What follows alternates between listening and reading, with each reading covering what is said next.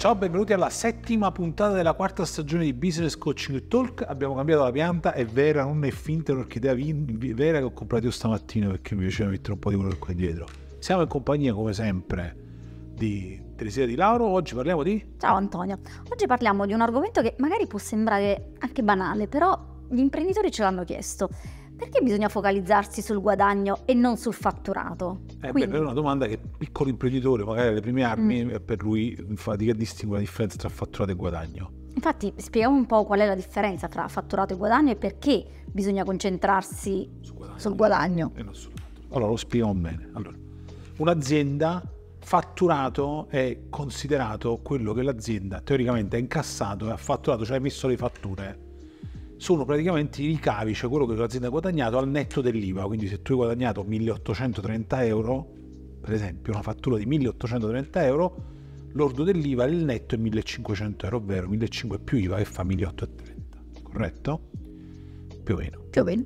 Quindi intanto il fatturato è i ricavi netto IVA, quindi dove io ho tolto l'IVA. Perché tolgo l'IVA? Perché l'IVA in realtà è una partita di giro che l'azienda non pesa perché l'azienda lo incassa lo detrae, dalle, lo, detrae lo va, a, scar- lo va a, de- a dedurre diciamo, dal, dai costi, in quanto se io le uscite di IVA, le uscite e gli ingressi fanno pari, perché ho, ho spese uguali guadagni, che sarebbe negativissimo, io vado a compensare l'IVA.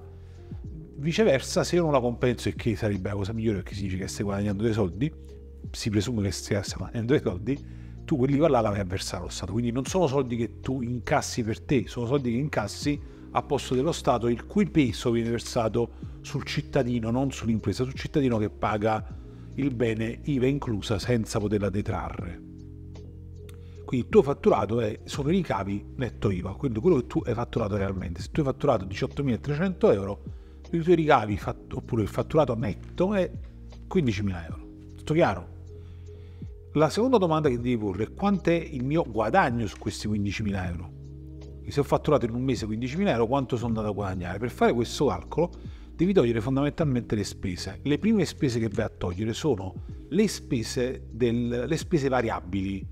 Ora, le spese variabili non sono le spese che variano nel tempo, che uno mi potrebbe dire anche la corrente elettrica, le, la, la, l'energia varia. E negli ultimi anni abbiamo sofferto di questa cosa.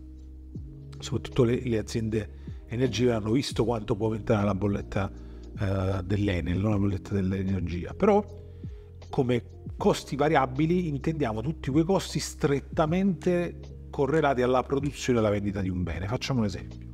Io vendo questo telefono di questo oggetto, lo produco, produco 100 di questi oggetti, ogni oggetto mi costa 100 euro, quindi se ne faccio 100 spendo 10.000 euro. Quel costo è il costo del venduto, cioè il costo che quando mi è costato produrre questo oggetto. Il primo costo che va analizzato è proprio il costo del venduto, quindi quanto impatta questo costo sul mio fatturato. Quindi dicevo, su 15.000 euro che ho, fa- ho fatturato, 1.500 l'ho spesi, cioè il 10% l'ho spesi di costo del venduto. Quindi il costo del venduto è il costo legato alla produzione dell'oggetto. Poi c'è il costo di vendita. Per esempio io potrei pagare degli agenti di commercio una percentuale sulle vendite. Mettiamo il 10% ancora per semplicità. Quindi io sono andato a pagare, ho fatto 15.000 euro di fatturato, ho pagato 1.500 euro gli oggetti che ho venduto e poi ho pagato ai venditori 1.500 euro di commissioni. Quindi sono rimasti 15.000 euro, 3.000 euro. Poi potreste vedere altre spese variabili di non so che natura, però mettiamo il caso che tu vendi e paghi anche un tuo segnalatore oppure un distributore, una percentuale sulla distribuzione del prodotto. Il fatturato l'hai fatto tu, ma devi riconoscere al tuo distributore che porta la merce nei negozi piuttosto che nelle case delle persone devi lasciare una percentuale. Diciamo anche qua del 5%, giusto per fare un numero sensato, quindi il 5% di 15.000 euro sono 750 euro. Ecco che tu hai un costo, costi variabili uguale a 1.500 più 1.500, ovvero il 10 più 10 più il 5, il 25%, ovvero 3.750 euro nei conti così a memoria che mi sono fatto io. La differenza tra il tuo fatturato netto e i costi variabili, quelli di cui ho parlato, si chiama margine di contribuzione oppure primo margine ed è, un, è il primo guadagno dell'azienda, ma non è detto che sia il tuo guadagno perché tu a questo punto dovrai togliere dalle, eh, da, da, da, dal tuo fatturato anche tutte le spese fisse, ovvero stipendi, affitti, noleggi, a questo punto le, l'energia le elettrica, utenze, le utenze. le utenze, il tuo stipendio se tu sei un dipendente della tua azienda o se sei un amministratore solamente i, i- soldi che ti prendi come amministratore, quindi il tuo stipendio di amministratore, eventuali rimborsi spesa, eventuali auto che tu hai aziendali se ce l'hai e ti porti in detrazione una parte di questi, eh, del valore di queste auto, eccetera, eccetera. Quelli sono costi fissi. Perché si chiamano costi fissi? Si chiamano costi fissi perché sono, o, o meglio, più precisamente tecnicamente si chiamerebbero costi di periodo. Perché costi di periodo? Perché sono costi che tu dovrai sostenere in ogni caso nel periodo dell'anno eh, contabile, dell'anno d'esercizio. Quindi nel 2024 si presume che tu le persone che hai assunto le tieni assunte. Questo non è del tutto vero perché tu durante l'anno puoi licenziare o qualcuno ti può abbandonare, lo devi lasciare, però si presume che se tu hai tre impiegati, quattro impiegati, per andare avanti e per produrre della ricchezza e devi produrre hai bisogno di quei quattro impiegati, quindi se uno va avanti va fuori un altro dovresti inserire dentro. Ecco, quelli là sono i costi fissi. Mettiamo che tu hai costi fissi per boh, 7.000 euro. Il tuo guadagno, prima delle tasse, gli ammortamenti, eccetera, eccetera, è la differenza tra il fatturato meno i 3.750 dei costi costi variabili di cui abbiamo parlato che pesano il 25%, che quindi danno un margine di contribuzione di boh, 15.000 meno 3.750 fa eh, 11.350, facciamo 11.000 giusto per fare un numero tondo Tondo. ti rimangono 11.000 meno 7.000 euro di spese che tu hai tra stipendi, eh, affitti del- di locazione dell'ufficio, macchine e quant'altro, ti rimangono, eh, abbiamo detto 7.000 di, di, di spese, hai guadagnato 11.000 meno 7.000, 4.000 euro. Questo è il tuo guadagno. No, il guadagno dell'azienda, che tu non sei la tua azienda, tu sei una persona che lavora all'interno dell'azienda e diciamo che in questi 7.000 ti sei preso anche il tuo stipendio, ok? Rimangono questi 4.000 euro. Questi 4.000 euro sono, si chiamano EBITDA, ovvero il guadagno, earn, e E sta per earn, B sta per before, cioè prima, di T, tasse, EBT, EBITDA, prima la I, quindi earn, E di earn, guadagno, B di before, ovvero prima, degli interessi, I sta per interest, quindi interessi, interessi che tu hai su mutui, affitti, noleggi, eccetera, eccetera, interessi bancari, tax, le, le tasse, T di tax, poi eh, EBITDA, D che sono i deprezzamenti, i deprezzamenti sono il valore di merce che tu hai comprato e messo in magazzino che si è deprezzato. Facciamo un esempio: tu produci per produrre questo hai bisogno di utilizzare il rame, compri il rame, lo metti in deposito, il rame si è svalutato, costa meno, quel deprezzamento tu lo puoi mettere, il, co- il commercialista non tu lo mette nelle perdite per deprezzamenti, quindi va a togliere dalle tasse, dalle BTD, va a togliere i soldi del valore della merce che è calata, quindi il deprezzamento può essere un costo detraibile tutto sommato le tasse e gli ammortamenti, gli ammortamenti che cosa sono? Io compro questo computer, l'ho speso boh, 2000 euro, però non lo posso detrarre dalle tasse nell'anno in cui l'ho comprato, lo posso detrarre dalle tasse quota parte, un quinto quest'anno, mi sembra un quarto perché mi sembra in quattro, Quattro anni, anni. un quarto quest'anno, un quarto l'anno prossimo e, e l'altra metà negli altri successivi due anni. Perché la legge è questa, io posso detrarre dalle tasse soltanto il 25% l'anno del computer, ho detto computer per dire una qualsiasi altro bene. Se ho comprato una macchina per produrre qualcosa, quella macchina la posso portare in ammortamento o secondo delle leggi anche dei, dei vantaggi fiscali iperammortamento, quindi ammortizzo molto di più del Oltre- valore della macchina per X anni. Questo mi consente di andare a pagare le tasse, qui dopo gli ammortamenti, una volta che io ho tolto gli ammortamenti di, una cosa che ho comprato l'anno scorso e di cui vado a detrarre dalle tasse quella quota rimanente pago le tasse su il guadagno meno l'ammortamento per intenderci. Ora, su cosa dovrebbe stare attento l'imprenditore? L'imprenditore dovrebbe stare attento almeno al primo parametro, l'EBITDA.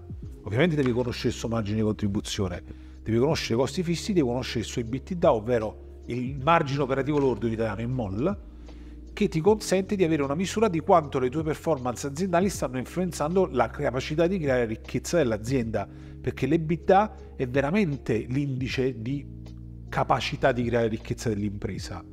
Più è ampio questo EBITDA, meglio l'azienda produce ricchezza ovviamente. Infatti tant'è che quando vedete che vendiamo le aziende o andiamo a fare valutazioni di azienda per venderle, i calcoli del valore dell'azienda vengono fatti tenendo in considerazione l'EBITDA. Oppure quando andiamo a finanziare le aziende, noi facciamo, aiutiamo varie aziende, stiamo aiutando varie aziende a farsi finanziare i fondi o i business angels, adesso vengono chiamati business angels, cioè i finanziatori, guardano l'EBITDA, sotto l'EBITDA non guardano quello che succede, interessa poco. L'imprenditore deve stare attento a meno all'EBITDA, ma devi sapere che il guadagno dell'azienda in realtà verrà successivamente una volta detratto dal guadagno gli ammortamenti, i deprezzamenti, le tasse, gli interessi e le tasse. Quello sarà l'earn finale. Ora, se tu hai il 2% di earn oppure il 2% prima delle tasse di EBITDA, evidentemente c'è un problema grosso e devi gestire un po' meglio le finanze, devi gestire un po' meglio l'azienda, cioè la macchina che hai creato è una macchina inefficiente. Se tu hai il 20, il 25, il 30% di EBITDA, sei un'azienda molto florida quindi sta creando tantissima ricchezza. Questo è importante saperlo perché quello è l'indice su cui tu puoi misurare la performance della tua azienda e quello è l'indice che ti consente poi di prendersi i dividendi, perché tu i dividendi non li prendi dal fatturato, li prendi dall'EBITDA. Sono stato chiaro? Sì, ma mm, spieghiamo meglio, perché um, tutto ciò che viene al di sotto dell'EBITDA non è interessante, tra virgolette. Ma non è interessante, no, non è che non è interessante, mm. però non è una cosa che tu puoi monitorare facilmente perché dipende dagli ammortamenti, gli ammortamenti dipendono dalla legge. Puoi influenzare gli ammortamenti? No, perché per legge quelli sono gli ammortamenti che puoi portare detrazione. Puoi, puoi intervenire direttamente sugli interessi bancari, sì, puoi andare a ridiscutere i mutui, però non è che tu hai un, hai un approccio diretto sugli interessi, mentre sul fatturato, sulle spese variabili e sulle spese fisse tu puoi fare qualcosa sugli interessi bancari, sugli ammortamenti e deprezzamenti, tu sei completamente effetto della situazione, quindi quello che succede è il mercato che si muove. Quindi, quindi facciamo una cosa, se, se, il rame è calato del 30%, il, il rame che avevi comprato verso il valore del 30%, tu cosa puoi fare? Niente, puoi soltanto portare nelle perdite quel deprezzamento. Quindi un, un imprenditore cosa deve fare per aumentare il suo guadagno? e deve gestire bene i costi fissi e i costi variabili, questo è fondamentale. Ora, questo è un problema che noi italiani ci abbiamo, perché qua ho detto una cosa, gestire bene costi fissi e costi variabili è fatturato. Quindi gestire bene fatturato, costi fissi e costi variabili. C'è presente che in Italia si parla spesso del rapporto debito, in Italia, nel mondo, si parla dell'importanza del rapporto debito-PIL, no? Certo. Che ovviamente nessuno più conta quanto debiti abbiamo, perché il debito è fatto con qualcuno che schiaccia un bottone e produce soldi non è più debito verso le persone, è debito verso le banche. Quindi come si fa a valutare se un'azienda è sana, se un paese è sano? Si calcola il rapporto debito-PIL. Infatti i governi sono tutti quanti attenti a recuperare questo debito, nessuno pensa a aumentare il PIL. Allora la stessa cosa in azienda. La stessa cosa in azienda. Come fai a migliorare il guadagno? Beh, banalmente se fatturi di più, facciamo il conto, il conto che ho fatto. Se tu c'hai 15.000 euro di fatturato mensile e c'hai 7.000 euro di spese fisse tra i dipendenti e varie cose e quel, le, le, spese variabili costano il 25%, quelle spese variabili tu te le porti anche se fatturi 150.000 al mese, ma se i costi fissi non aumentano sensibilmente aumentare del fatturato, tu c'hai molto più margine. Quindi facciamo un esempio, se io produco, forse qua ci dobbiamo, ci dobbiamo aiutare anche con un po' di grafica, perché può avere senso anche essere aiutato un po' da grafica. Facciamo un esempio, io appunto ho 15.000 euro di, eh, di, eh, di ricavi al mese, di cui abbiamo detto 4.000 di spese variabili. Quelli sono i costi variabili, il 25-30% in questo caso, poco più, insomma tra il 25 e il 30%, cioè abbiamo 4.000 euro di spese variabili, rimangono 11.000 euro, ma io ho 7.000 di costi fissi, ho guadagnato 4.000 euro, corretto? 7 più 4 fa 10, corretto. Ho guadagnato prima delle tasse, ho fatto di mollo 4.000 euro Ora immaginiamo di portare l'azienda da 15.000 a 30.000. 30.000, il 25-30% di 30.000 sono 9.000 euro di costi variabili, mi rimane di margine di contribuzione 30.000 meno 9, quanto fa? 21.000. Tolgo 7.000 di spese fisse, cosa mi rimane come bidda? Beh, 21.000 meno 7.000 mi rimangono un sacco di soldi, mi rimangono 14.000 euro. Quindi nella prima, nella, il primo mese ho fatto 15.000 euro, guadagno 4.000 euro Invece se fatturo 30.000 euro guadagno, quando ho detto 14.000 euro, euro, sono molti più soldi, no? Sono 10.000 euro in più. Perché? Perché i costi fissi sono rimasti inalterati o anche se aumentano, aumentano un po', non aumentano in maniera progressiva come il fatturato. Quindi in primo modo per gestire bene i guadagni è aumentare il fatturato, che è la cosa che funziona sempre più di tutte. Più fatturo, più vendo, più produco, più guadagno. Se ho un regime di costi fissi, costi variabili sensato, Ovviamente se ho tutti i costi variabili, i costi aumenteranno con, costi, con, con il fatturato. ma se ho un buon, una buona distribuzione tra costi fissi e costi variabili, ovviamente io guadagnerò di più. E se, seconda, il secondo se grosso quando questa casa, se, quando, quando questo palazzo, quando questo quartiere, quando questa città, il secondo se è se ho organizzato un team di lavoro, organizzato i processi aziendali in modo tanto efficiente che con poche persone riesco a fare tanta attività. Ecco che è importante per un imprenditore creare processi, automatizzarli. Molto spesso si parla del CRM perché i software sono importanti i software. No, i software sono importanti nella misura in cui tu stai facendo le cose, sai cosa stai facendo e metti software che ti consente di velocizzare un processo, una cosa dove prima avevi bisogno di una risorsa umana e facevi con un, una persona che faceva solo quel processo, se quella cosa lì si fa struccando un brottone, cavolo, quella persona può fare altro quindi io ho efficientato l'azienda, non ho bisogno di prendere due impiegate, ne tengo una, quell'impiegata lì mi gestisce quel processo più un altro. Allora ecco che i software, l'automatizzazione, la standardizzazione dei processi, la creazione di procedure sono tutte cose che servono a rendere efficiente il team e a mantenere i costi fissi più risicati possibili. Vedo aziende che alla, appena vedono dei soldi eh, assumo altro personale perché così il team si allarga, mi piace. A no, mi piacciono i soldi sul conto l'imprenditore deve stare attento a generare soldi sul conto, pagarci le tasse e poi staccarsi i dividendi, oppure prendersi gli emolumenti durante l'anno con forme e cose di cui oggi mi sa che non discutiamo. Ma ci sono degli errori che gli imprenditori fanno quando si concentrano esclusivamente sul fatturato? Sì, non guardano le spese quindi alla fine dell'anno non hanno guadagnato soldi. Questo è l'errore principale. Spingo tanto il fatturato, quindi spendo qualsiasi cosa. Io mi ricordo un imprenditore amico mio, tra l'altro di Monza, Brianzolo che mi disse ah sto facendo tantissimo marketing ho fatto il corso di sto fatto tantissimi corsi di marketing sto facendo un sacco di marketing sto spendendo l'ora di Dio in marketing i clienti arrivano vorrei vedere tutto quello che spendi è normale che i clienti arrivano.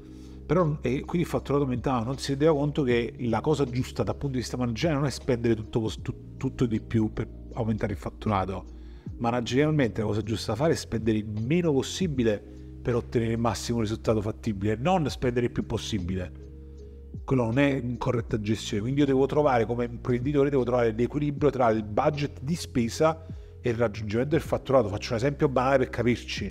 Se io spendo 3.000 euro al mese di marketing e trovo 6 clienti al mese, se ne spendo 4, ne trovo 8 di clienti? No, ne trovo 7. Bene, se ne spendo 5, ne trovo sempre 7. Se ne spendo 6, sempre 7. Ritorniamo a 3 dove il rapporto era ma minima spesa, massimo risultato. Perché con 2000 in più io ho ottenuto soltanto un cliente in più, non ha senso. In che modo la focalizzazione sul guadagno può, influenza- può influenzare le decisioni strategiche di un'azienda?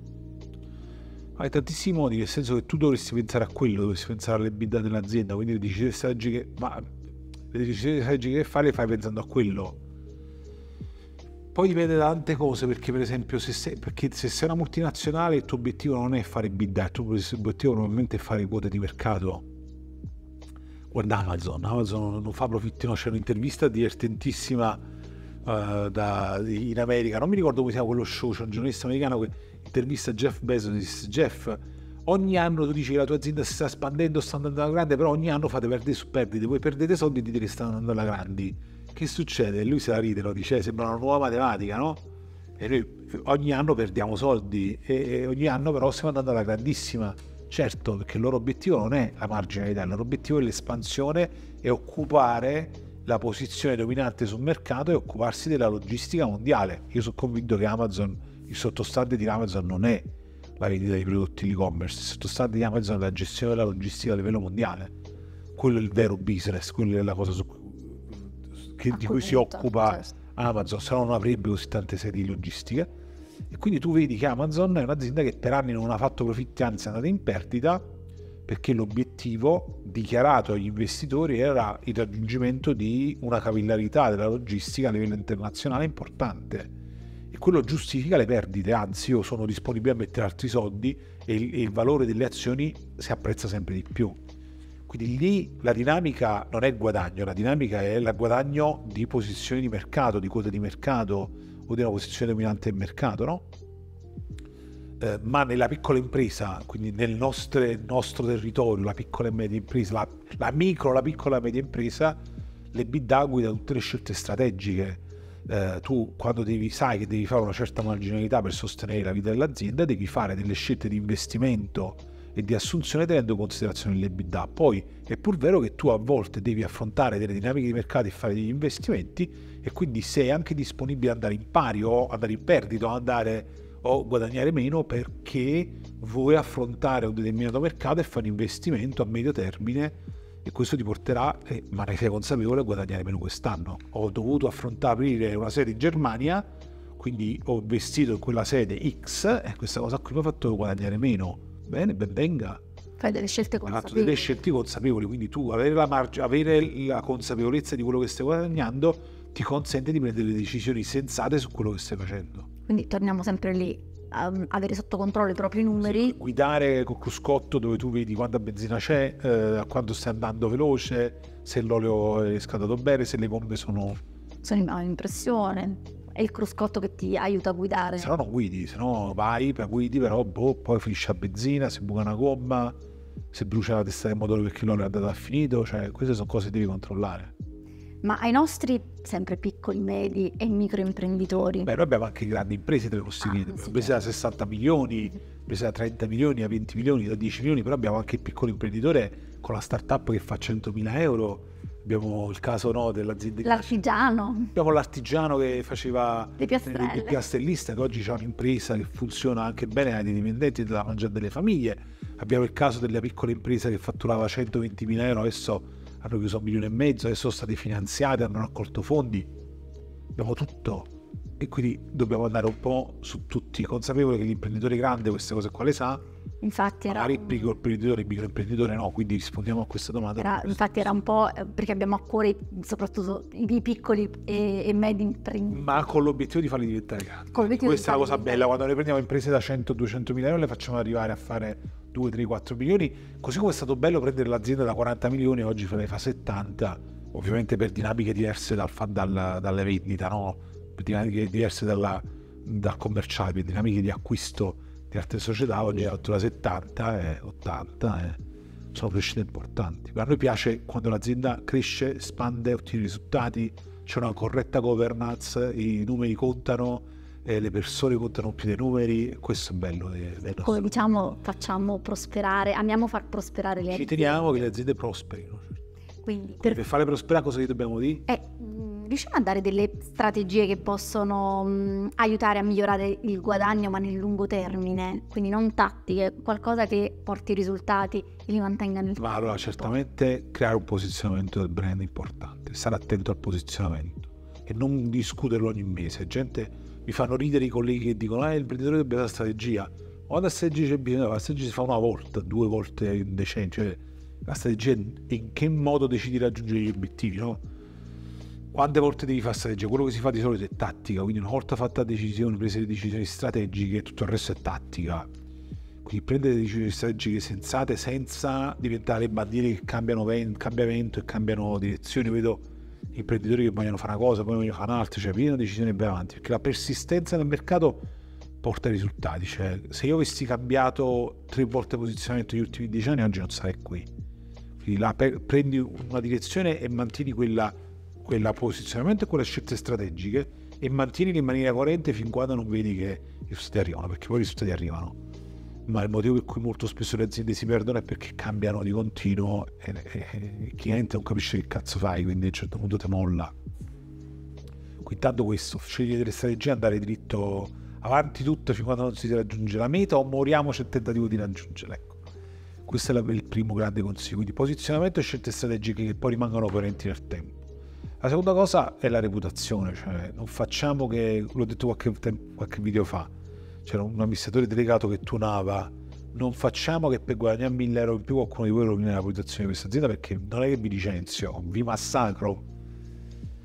Ed aveva ragione, cioè la reputazione di un'azienda oggi è tutto nel futuro, tu- la reputazione delle aziende saranno ancora più importante, sarà ancora più importante del servizio perché il livello di servizio e di qualità dei prodotti ormai è è un livello arrivato a un livello di uno standard veramente elevato.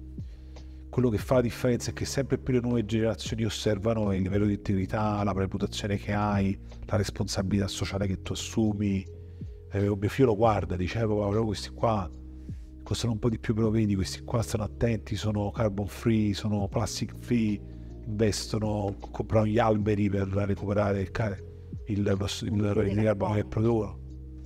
Ci fanno caso, ci fanno caso, sono generazioni molto molto interessanti.